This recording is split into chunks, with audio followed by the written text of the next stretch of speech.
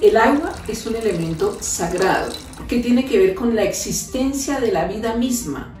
Sin agua no es posible la vida en el planeta, no germinan las semillas, no viven las plantas ni los animales y tampoco los seres humanos. Y hay miles de seres humanos que mueren en este planeta por falta de agua, mientras otros derrochan el agua, la botan, la usan mal, pero además secan los ríos y la contaminan.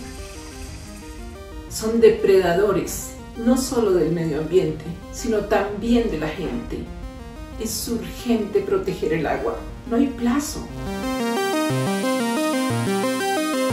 En el desierto de la Guajira, el agua cada día es más escasa, porque hay un cambio climático alterado por causas humanas que han puesto contra las cuerdas al pueblo guayú.